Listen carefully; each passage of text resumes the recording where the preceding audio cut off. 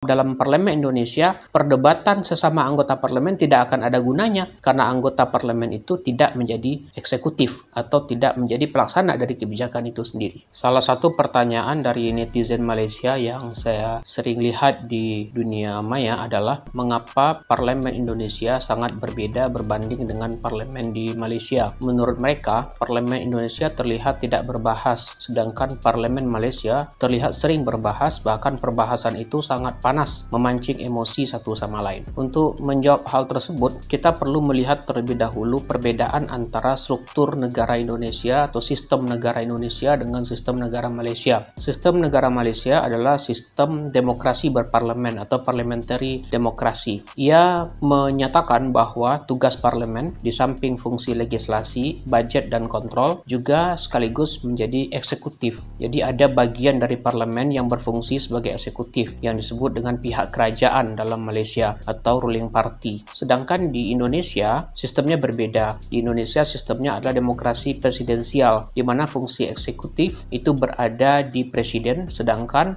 di parlemen hanya menjalankan fungsi legislasi, fungsi budget, dan fungsi kontrol. Ketiga fungsi itu dapat dijelaskan bahwa fungsi legislasi adalah fungsi yang berkaitan dengan penyusunan undang-undang. Dalam hal ini, antara pemerintah atau presiden di Indonesia dengan parlemen bekerja sama. Undang-undang bisa muncul dari inisiatif parlemen atau DPR kalau di Indonesia, dan juga bisa muncul dari inisiatif eksekutif atau presiden. Kemudian, apabila kedua badan ini bersepakat, maka sebuah rancangan undang-undang dapat dijadikan undang-undang. Sebaliknya, apabila salah satu menolak atau tidak menyetujuinya, maka rancangan undang-undang itu tidak dapat lagi diajukan pada masa persidangan itu.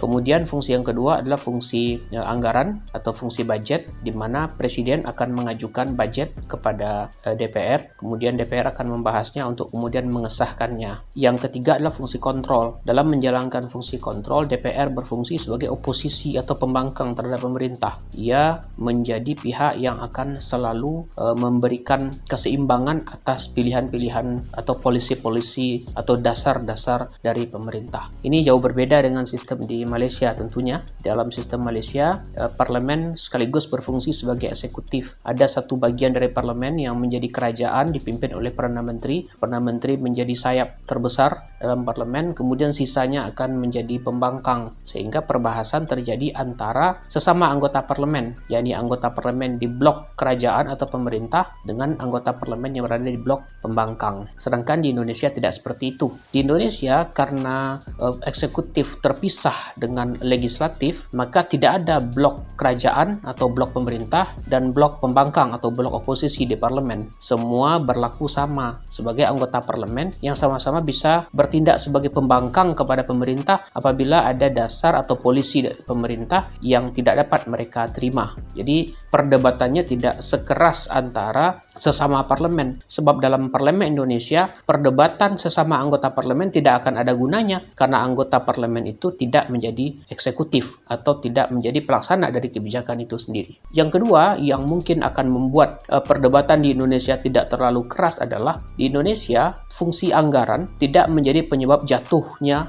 sebuah pemerintahan atau kerajaan karena dalam sistem Indonesia apabila budget yang diajukan oleh pemerintah pada satu waktu tidak disetujui oleh Dewan atau DPR, maka budget yang berlaku adalah budget tahun sebelumnya. Berbeda dengan pemerintahan di sistem parlementer atau Westminster, di mana bila budget yang diajukan oleh pemerintah atau kerajaan tidak disetujui oleh parlemen, maka pemerintahan itu jatuh. Oleh karena itu, perdebatannya akan sangat keras karena berkaitan dengan jatuh bangunnya sebuah pemerintahan. Faktor lain yang membuat uh, perdebatan di parlemen Indonesia tidak sekeras dalam parlemen parlementer adalah karena tidak ada kuasa parlemen untuk menjatuhkan pemerintahan. Kedua-dua lembaga, yakni pemerintahan yang dipimpin oleh presiden dan parlemen yang berisi wakil-wakil rakyat sama-sama dipilih dalam pemilihan umum atau pilihan raya. Oleh karenanya, kedua-duanya tidak bisa saling menjatuhkan. Oleh karena perdebatan yang keras sekalipun tidak akan dapat dapat menjatuhkan salah satunya. Memang ada mekanisme yang disebut dengan impeachment, tapi prosedurnya lebih panjang